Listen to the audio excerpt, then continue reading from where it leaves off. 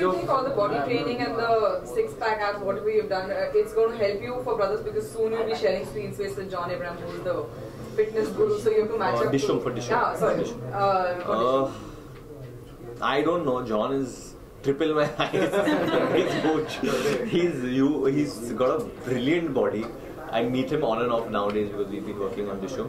Uh, Dishum is a completely different ball game and a completely different zone of training.